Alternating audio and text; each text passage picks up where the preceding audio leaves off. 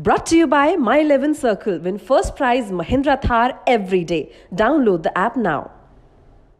so, viewers इस वक्त हमारे साथ हैं स्नूकर या फिर मैं यूँ कहूँ कि क्यूज स्पोर्ट के एक ऐसे खिलाड़ी जिनके पास अब टाइटल्स जो है जो ट्रॉफीज हैं उनको रखने के लिए मेरे ख्याल से अब जगह कम पड़ रही होगी पच्चीस ऐसे वर्ल्ड टाइटल्स हैं जो इनके नाम है और इस बार भी कोलालमपुर में इन्होंने शानदार प्रदर्शन किया देश के लिए ट्रॉफी जीती हम बात कर रहे हैं पंकज आडवाणी की।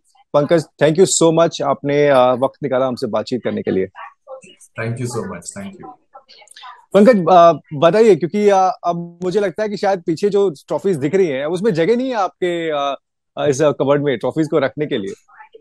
It's it's always an honour कि अपने देश को रिप्रेजेंट करना और गोल्ड मेडल जीत के लेके आना बहुत ही गर्व की बात है कि हम लोग को एक ऐसा मौका मिलता है अपने देश को अपका अपने देश को नेशनल फ्लैग है, ऊपर रख के बहुत ही खुशी हो जाती है, खुशी होती है कि मेडल जीतने के बाद जो जब नेशनल एंथम खेली जाती है तो उसमें बहुत इमोशन भी है पेट्रियोटिज्म भी है और जितने भी ये ट्रॉफीज है इंडिया के लिए जीता हो तो आगे भी चल के यही कोशिश रहेगी। बिल्कुल।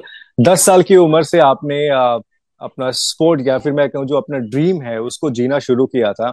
So can you just tell us I mean the experience and the struggle है ना which is I think it's not been told in in a longer picture so if you can just explain your struggle देखिए, जब आप एक ऐसे sport खेले जो main stream नहीं माना जाता है, जैसे बिलियर्ड और स्नूकर जो नॉर्मली इन स्कूल डेज़ में क्रिकेट खेलता था, थोड़ा सा table tennis basketball outdoor sports football ये वो।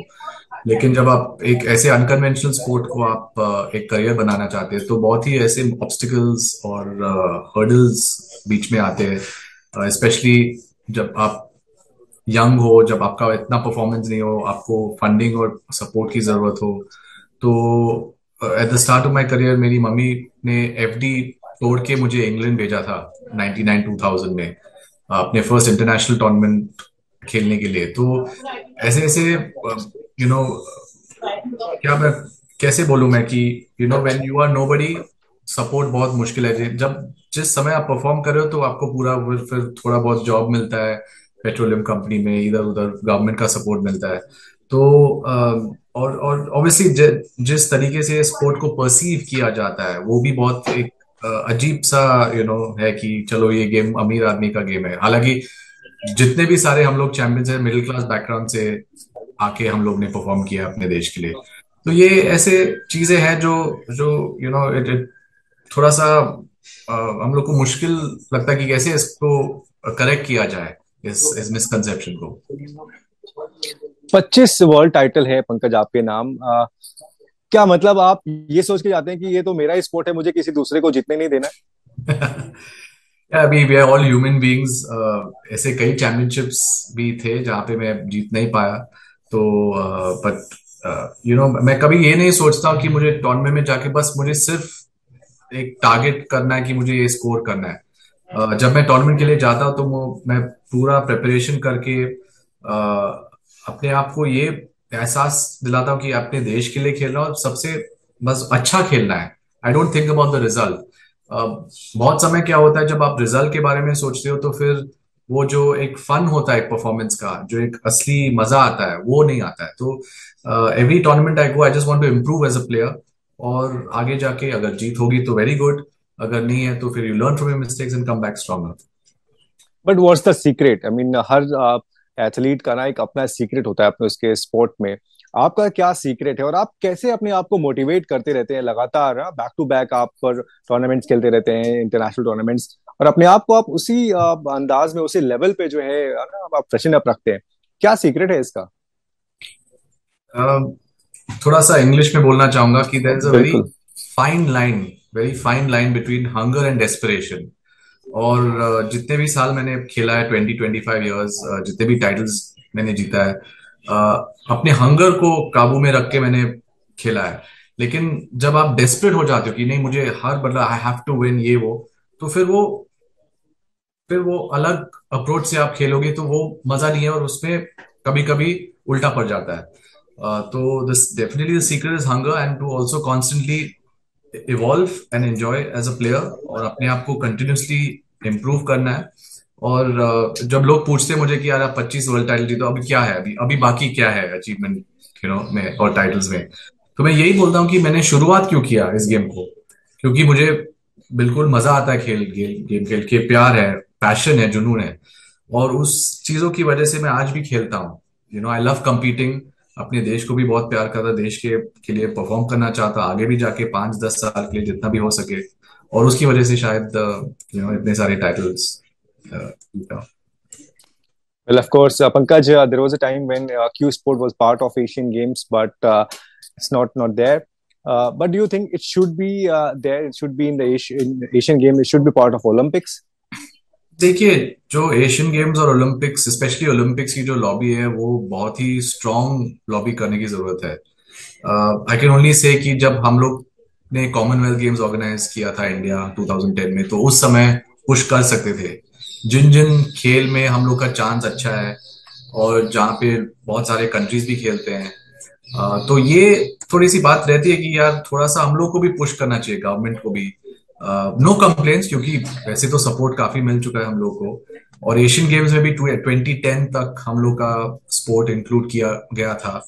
उसके बाद, क्योंकि कभी कभी जो होस्ट कंट्रीज़ होते हैं, वो एक दो स्पोर्ट्स को हटा के अपने स्पोर्ट्स को इंक्लूड कर देते हैं।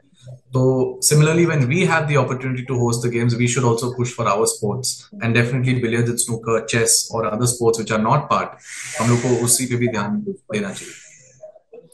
पंकज, एक आखिरी कुछ सवाल क्योंकि अब आप उस लेवल पे पहुँच गए जहाँ से आप, अब जो बर्डिंग जो हमारे जो एस्पेरेंट्स हैं ना, इस क्यू स्पोर्ट की, उनको एक अच्छा मैसेज दे सकते हैं। What is your message for young young guys who is trying to be professional just like you देखिए, जो भी आप करते हो वेदर इट्स स्पोर्ट्स और एनी अदर फ़ील्ड आप दिल को छूना चाहिए अंदर से आना चाहिए, वो ऐसा फीलिंग कि, यार I am doing this because I love doing it not because कि यार मुझे ये इतना पैसा मिलने वाला है इतना मतलब नेम फेम सब कुछ अवार्ड्स वो तो सब पीछे आएँगे। लेकिन आपको अपने आप को ऐसे बनाना है कि आप एक्सेल करो अपने फ़ील्ड में और पूरे मेहनत के साथ with full passion and and commitment कई कई बार मैंने देखा है कि लोगों को एक वो करियर पाथ ऐसे यू नो चूज़ करते हैं जहाँ पे uh, उन लोग को ना तो वो ना जॉब सेटिस्फैक्शन है, ना तो मज़ा आ रहा है, लेकिन फिर भी कोशिश करते हैं। You know not everybody can be a top batsman और a cricketer not everybody can be a top actor और अ टॉप पॉलिटिशियन तो you have to see where your interest and talent lies और जब मैंने इस game को शुरू किया था, मुझे पता था ये मेन मेन स्ट्रीम स्पोर्ट नहीं है, ये टेलीविज़न पे कम दिखाते हैं लोग। लेकिन एक पैशन था कि यार मुझे कुछ करना है। और वो भी दोनों और स्नूकर में यू नो जो किसी व्यूअर्स ने नहीं किया अभी तक। I wanted to do something different आप किसको फॉलो करते हैं? आप किसको एडमायर करते हैं? अगर ये अगर हम वर्ल्ड स्पोर्ट की बात करें इज़ देयर एनीबॉडी हु जिसको आप पसंद करते हैं? रॉजर फेडरर क्योंकि जो उन्होंने जो टेनिस को दिया है नॉट ओनली ग्रैंड स्लैम्स के हिसाब से but also the kind of human being is और जब आपने शायद देखा होगा कि उनका जो फेयरवेल मैच भी था बहुत ही ज़्यादा इमोशनल बन गए थे सब फैंस उनके उनके राइवल्स भी जो कंपेटिटर्स भी थे नडाल और सब लोग। तो एक ऐसा एग्ज़ाम्पल सेट किया उन्होंने कि बॉस आप एक अच्छा ह्यूमन बींग भी बन सकते हो और आप आप चैंपियन भी बन सकते हो और फैंस के साथ भी कनेक्ट भी कर सकते हो। He is a true ambassador of the sport of world sport तो यू you नो know, आगे जाके whenever जब मैं रिटायरमेंट की बात करूँगा या uh, इस गेम को छोड़ूँगा तो I would like to be remembered on those lines